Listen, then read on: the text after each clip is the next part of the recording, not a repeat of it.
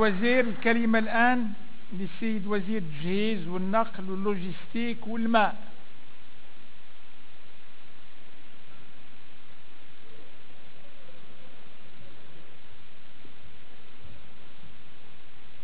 بسم الله الرحمن الرحيم. الصلاة والسلام على رسول الله. شكرا السيد الرئيس. سيدات السادة النواب المحترمين بداية هذه بطبيعة الحال لحظة سياسية وديمقراطية بامتياز. أعتقد أنه رغم ما يمكن أن يلاحظ بعضنا على البعض ولكن في نهاية المطاف كل مؤسسة تقوم بما يجب أن تقوم به. الحكومة تقوم بما يجب أن تقوم به والبرلمان ثم المجلس الأعلى. بطبيعة الحال في إطار الاحترام وفي إطار أن يكون هناك نقاش موضوعي وهادي. أه، سيد الرئيس أنا أكاد أجزم بأنه ما جاء في التقرير ديال المجلس الأعلى للحسابات بالنسبة للقطاع ديال التجهيز والنقل في ثلاثة ديال المواضيع. أه، كان منسجما مع ما هو موجود داخل الوزارة. يعني هناك مجموعة من القضايا نناقشها وكانت لدينا نحن كوزارة ملاحظات عليها. وجاء التقرير ليؤكد آه، الكثير منها وليضع آه، على مجموعة من الإجراءات طابع التنويه بها لأنه في حقيقة حققت فيها بلادنا الشيء الكثير وأول موضوع هو الطرق الصندوق الخاص بالطرق. وما أدراك ما الصندوق الخاص بالطرق؟ والسادة النواب بالخصوص يعلمون هذا. يعني لو كان ما كانش هذا الصندوق الخاص بالطرق ما كانش ممكن الوزير التجهيز أن يستقبل السادة النواب فبالأحرى أن يستمع إليه. لأنه هذا من اللي تأسس سنة 1989 كانت عندنا إشكالات اللي مرتبطة بالصيانة ديال الطرق وبعد ذلك دخلت عليه واحد المجموعة ديال التعديلات حتى يستجيب للإشكالية اللي تطرحوها السادة النواب باستمرار. ما كاينش نائب يزور الوزير إلا ويطرح طريقا معينة. سواء كانت مصنفة أو غير مصنفة. وبلغة الأرقام القانون ديال التصفية ديال 2014 اللي تمت المصادقة عليه في مجلس النواب مؤخرا. سيعطي هو في حقيقة تيتوج هذه المرحلة ديال واحد العدد ديال التطويرات والتعديلات اللي دارت في هذا الصندوق. لأن كانت التقديرات ديال المداخيل حوالي 2.2 مليار ديال الدرهم. المداخيل الفعلية كانت 2.9 تقريبا مليار ديال الدرهم حوالي 134% والنفقات كانت التقديرات بطبيعه الحال 2.2 مليار ديال الدرهم. والنفقات الفعلية حوالي 3.08 مليار ديال الدرهم اذا 140% بمعنى أن إحنا تجاوزنا داك الشيء اللي كان مقرر. وتنقل وهذه مناسبة باش نقولها للسادة النواب نرجو في هذه السنة المالية المقبلة أن تتم إعادة النظر في المداخيل لأن الطلب طلب على هذا المجال ديال الطرق طلب كبير. مؤخرا كنا مع السيد رئيس الحكومة في الجهة ديال بني ملال. فيما يخص فقط قطاع ديال التجهيز كانت هناك طلبات تقدر بحوالي 7 المليار ديال الدرهم بالنسبة لهذا المخطط وهذا دليل على أنه هذا واحد المجال طبيعة الحال الذي يجب أن ننظر إليه وأن ننوه بما قامت به بلادنا. طبيعة الحال كل الحكومات المتعاقبة. كانت هناك طبيعة الحال بعض الملاحظات منها هذه الملاحظة ديال نزع الملكية. نزع الملكية كانت إشارة للقضية ديال الاعتمادات ديال الصندوق الخاص بالطرق. قضية بالنسبة إلينا واضحة لأن إحنا هذا نزع الملكية أولا هو معقد ويأخذ سنوات ونتحمله في الميزانية آه، العامة ديال آه، الوزارة. لكن مع ذلك رفعنا النسبة ديالو إلى حوالي 100 مليون ديال الدرهم سنة 2017 فيما يتعلق بالصندوق. فيما يتعلق كذلك بإشكالية صيانة طرق القروية. بغيت غير نذكر أن الاتفاقية المبرمة مع الجماعات الترابية والمتعلقة ببرنامج الطرق القروية تنص بصريح العبارة على أن الجماعات القروية تتكفل بصيانة هذه الطرق بعد إنجازها كما تتعهد بتصنيفها ضمن شبكة الطرق الجماعية كما أن صيانة الطرق غير مصنفة أصبحت تدخل ضمن الاختصاصات الذاتية لمجالس الجهات طبقا للمادة 82 من القانون التنظيمي المتعلق بالجهات كما أن صيانة المسالك القروية أصبحت أيضا تدخل ضمن الاختصاصات الذاتية لمجال الفعل هذا إشكال.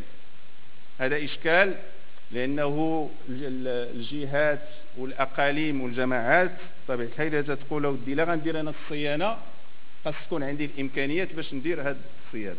لكن بالنسبة إلينا نحن هذا أمر يجب أن يقع فيه بطبيعة الحال واحد النوع من التوافق حتى تكون هناك الاعتمادات لأنه الرصيد الطرقي في بلادنا تيتجاوز 250 مليار ديال الدرهم وما كاينش رصيد طرقي بدون صيانة لأنه واخا دير طريق سريع تكلفك الملايير لأن الطريق ديال تازال حسيمة راه الكلفه ديالها 4 المليار ديال الدرهم. إلا ما كانش الصيانة ديالها ستضيع فيها البلاد ستضيع في هذا الاستثمار. فهذا من الأمور التي سنكب عليها بطبيعة الحال بتوافق مع الجميع. فيما يتعلق بالمحور الثاني التي يتعلق بالتصنيف. جل الملاحظات التي وردت في التقرير لا تخرج عن أحد مفهومين يتم تداولهما باستمرار على مستوى وزارة الجيش والنقل واللوجستيك والماء ويناقش مع المهنيين خاصة الجامعة الوطنية للبناء والشغل العمومية. هما المفهومين ديال التوحيد l'unification والتعميم la généralisation ديال النظام ديال تكييف وتصنيف المقاولات العمومية. وهذا بطبيعة الحال يعني لي يعني للإنصاف. يعني من 1994 وبلادنا تشتغل عليه تم تصنيف أكثر من 11000 مقاولة. بطبيعه الحال فيه نقاش باستمرار. هذا النقاش هذا. وحنا الآن بصدد لأنه هذه الإشكالية ديال التوحيد والتعميم هي لا ترتبط فقط بوزارة التجهيز لأنها تهم قطاعات وزارية أخرى. ونحن الآن في إطار العقد البرنامج اللي غيتوقع مع الجامعة اللي غيخرج من 2018 2022 سننص على إجراء خاص بهذا التوحيد هذا النظام. وستكون هناك دراسة لتقييم الأنظمة الحالية بمقارنة مع الأنظمة المشابهة على الصعيد الدولي ونريد أن تكون رئاسة الحكومة هي المسؤولة عنه حتى نضمن هذه القضية ديال التعميم ديالو والتوحيد. وإلا دعوني أقول أن الذي تم في هذا المجال ديال التصنيف ديال المقاولات شيء كبير جدا يتعلق خاصة بتبسيط المساطير ولا مادية المساطير ولكن مازال عندنا ملاحظات باستمرار ماشي غير من المقاولات حتى من السادة النواب والسادة آه، المستشارين لكن المعول عليه في السنوات المقبلة فعلا أنه رئاسة الحكومة تحمل هذا الملف هذا حتى نضمن أن جل. أن كل المؤسسات الحقيقة العمومية أو كل القطاعات اللي هي صاحبة الصفقات أن تعتمد نظاما موحدا وهذا بطبيعة الحال غيختصر على المقاولات وعلى الشركات كثيرا من الجهد وكثيرا من آه، الإمكانيات المادية. فيما يتعلق بالمجال السككي خلص تقرير المجلس على حسابات إلى مجموعة من التوصيات تهدف إلى تحسين تدبير ونجاعة أداء المكتب. هذه التوصيات تمت مناقشتها خلال المجلس الإداري اللي انعقدناه في 14 يوليو 2017 وسيعمل المكتب على إدماج هذه التوصيات في خارطة الطريق مقبلة وتفعيلها بوضع خطة عمل وتعيين لجنة خاصة تقوم بتتبع هذه التوصيات. وأسند إلى لجنة التحقيق والحكامة مسؤولية فحص هذه الأشغال قبل عرضها على المجلس الإداري. وهي كلها أمور تفصيلية وإجرائية سأحاول أن أختصرها. تكلموا على التدبير المعلوماتي لعملية صيانة البنية التحتية. السادة النواب معرفوا في 2011 كان المكتب من أوائل مستغلي شبكات السكك الحديدية على المستوى الدولي الذين يتوفرون على نظام تخطيط أشغال صيانة السكك المسمى بليريسيس ثم سنة 2014 قام المكتب بعصرنة أنظمة قياس ومراقبة حالة السكة والشبكة الكهربائية بهدف ترشيد برمجة الأشغال وضمان الجاهزية والسلام.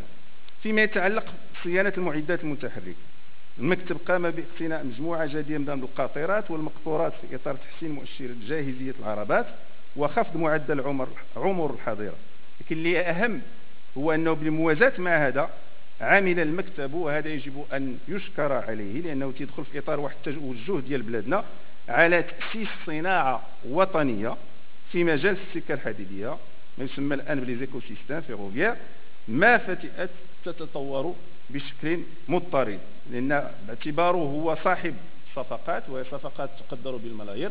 لا يعقل أن ما تكونش واحد النسبة من هذه الصفقات تعود على البلاد في مجال التصنيع. فيما يتعلق بتدبير المشاريع الاستثمارية راكم المكتب وتجربة مهمة في مجال تدبير المشاريع والتعامل مع الإشكالات التي تواجه إنزاج المشاريع الكبرى خاصة فيما يتعلق بضبط أجال الدراسات ومساطر الملكية التي تشكل يجب أن نعترف بذلك المصدر الرئيسي الذي يولد تأخيرا في المشاريع الشكل ولا أدل على ذلك من المشروع ديال الخط الفائق السرعة.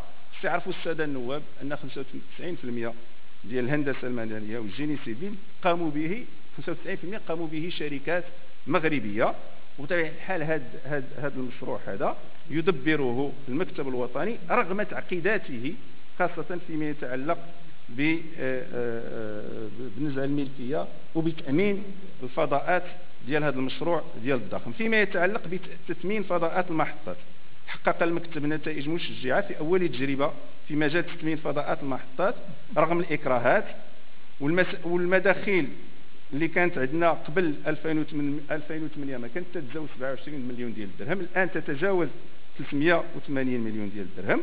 والمكتب أخذ بعين الاعتبار توصيات والملاحظات المجلس على الحسابات في إنجاز محطة وجدة والمحطات الجديدة للخط الفائق السرعة. أخيرا فيما يتعلق بتدبير المعدات المتلاشية باش تعرفوا بأن مجلس الآلة مشى إلى التفاصيل قام المكتب الآن بوضع مسطرة جديدة تؤطر عملية التخلي عن المعدات المتلاشية تعتمد أساسا على اللجوء إلى طلب المنافسة كما تسمح بالاستجابة لبعض الطلبات الخاصة لاقتناء المتلاشيات من طرف الخواص بناء على الأثمنة المحددة في الصفقات الماضية. شكرا سيد الرئيس. السلام عليكم ورحمة الله وبركاته. شكرا. شكرا سيد الوزير.